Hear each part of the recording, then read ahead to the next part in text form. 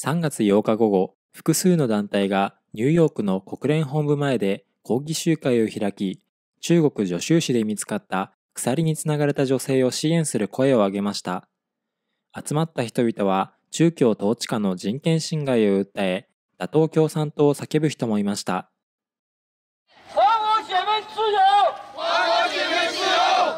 人々はスローガンを叫び、UN ウィメンとユニセフに対し、この件への介入と一連の人身売買に対する調査を中共に促すよう要求したほか、一大利益チェーンを構成した犯罪者の刑事責任と民事責任を追及するため、より優れた法執行体制を構築するよう求めました。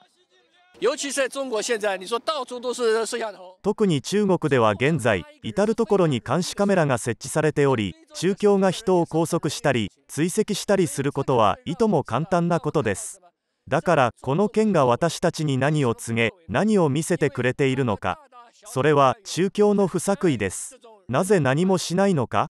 それは中共の役人が上から下までこの人身売買に関わっているからです。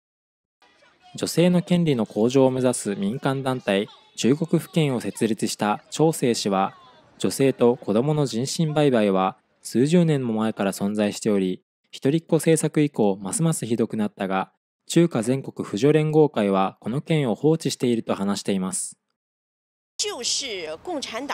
彼らは共産党の過敏です。庶民から集めた税金は彼らのこの巨大な機関を維持するために使われます。